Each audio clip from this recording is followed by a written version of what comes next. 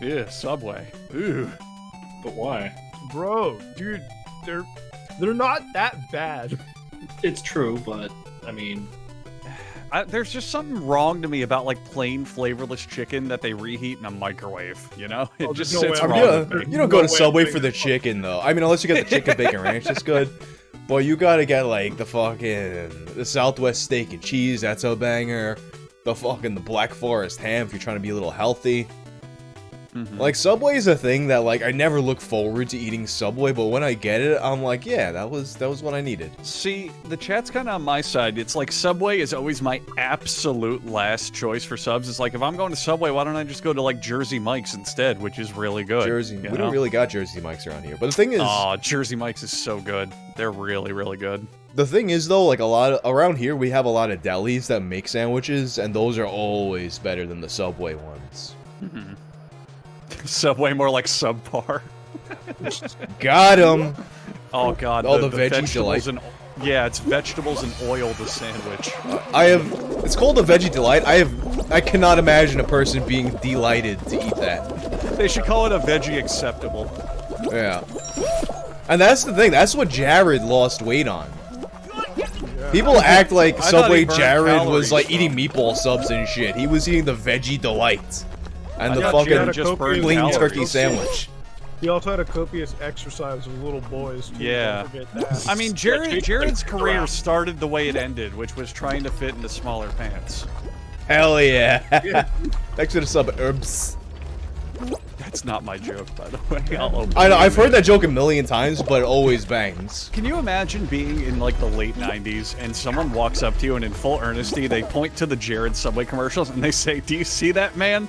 He's a massive pedophile." I mean, and they're not even joking. Would would you be like, no, J- Subway Jared? Look at the, Subway the guy, Jared. the guy who smiles with all of his teeth. Oh no, wait, he's a pedophile. I'll be real, man. When I saw that dude for the first time, this was like over, over like a decade ago. I, in my head, I was like, he fucked kid. I just couldn't say it, you know, because like you know, it was a fucking he mood instinct. Look, I don't know what it is, but there's something pedophilic about that Dude, man. I, I, dude, I'm telling you, when you got glasses like that and you got that curved smile, you've been in more boys' pants than I care to fucking want to know about. But I Like, a- as much as I hate to quote like old school Maddox, he like he nailed it with the, the thing he article back in the day. They got the pedo smile. Yeah, I was That's what about the pedo that same smile. thing. Yeah. Smiles with all of his teeth. I fucking love that. The pedo oh, smile. He's got that smug smile, like, haha, no one's gonna believe you, 12 year old. Do you think you can take me down? I'm Jared, the Subway sandwich guy. I'm unstoppable. Imagine going. I am above the law. God, imagine being one of his kids in his harem, and then you grow up and you're like 35, and you go, "I can't believe I was molested by Jared, the Subway Yeah, sandwich man." I wasn't even molested by somebody cool. Can you imagine if Jared was like packing heat? I'd rather not. but- I, I feel like guys like Jared, they're all like little dick guys, but like you never know. Maybe that, maybe that's why he has the smile. Like he's just like, man, I got this fat fucking cock. Yeah, like if I had like a 10 incher, I'd smile with all my teeth too. You can throw me in jail, but you can't get rid of my inches. In fact, put me in jail. It'll be. I'll just break out with my dong. It's a wrecking ball. Actually, actually, Miley Cyrus wrote that song about Subway Jared's dick.